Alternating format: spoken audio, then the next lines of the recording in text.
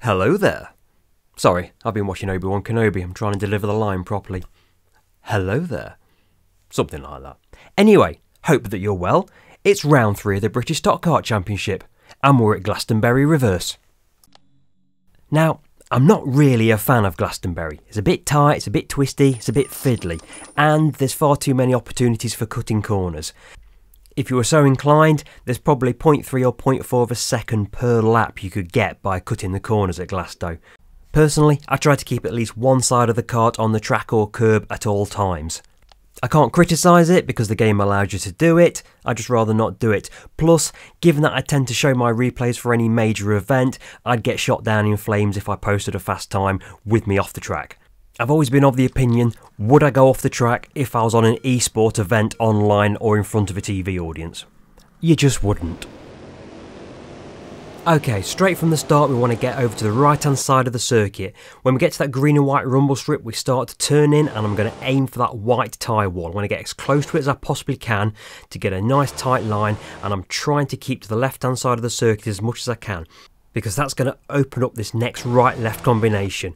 Now, if you really want to, you can get snug up against that black tyre wall there because strictly speaking, you're still on the track. It's just going to make a shallower line into this left hander. Now, almost immediately, I'm turning left. The transfer of the weight from the previous corner is going to make the kart want to understeer. So we're going to aim to get as close to that white advertising as we possibly can. And then immediately, I'm opening up the steering. I'm already opening the steering at this point because otherwise, when I get onto the straight, the kart is still steering steering into the left and will veer off to the left. Aim to let the kart run all the way out to the right hand side of the circuit, two wheels on the grass, two wheels on the circuit, and when we get to that blue strip before the green and white rumble strip, we're turning in. But because this is a double apex corner, we're not looking at taking this too tightly. If we did that, we'd approach the next part too shallow and we'd compromise our exit into the tight right hander that follows.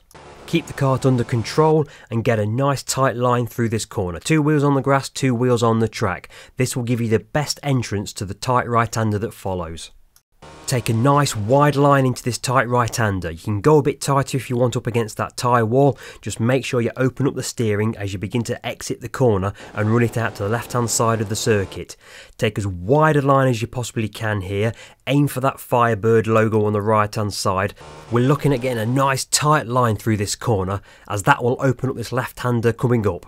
Now I leave my turn in here about a kart length too long, which means I've missed the apex. I really need to be about half a kart width to the left, because ideally I'm looking to straight line this bit of track here between the black tyre wall on the left and the Street Kart logo up front.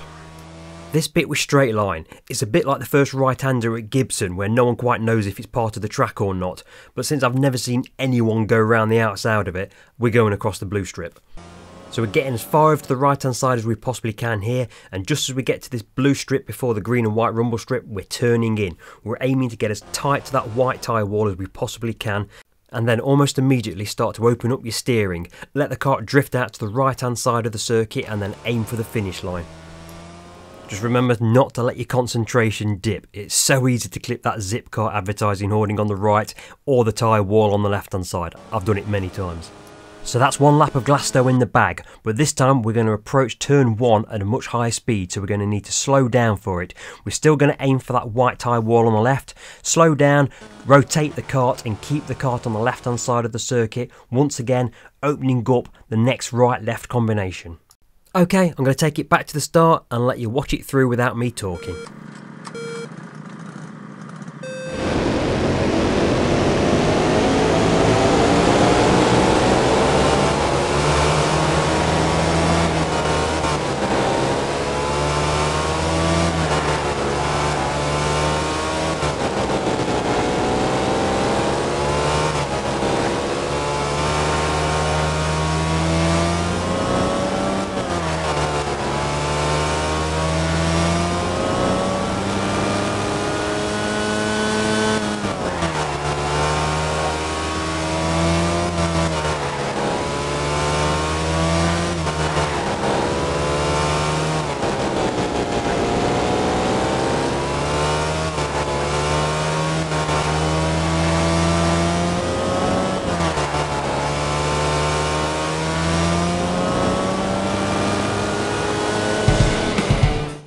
Okay, that's two very quick laps of Glasto in the bag.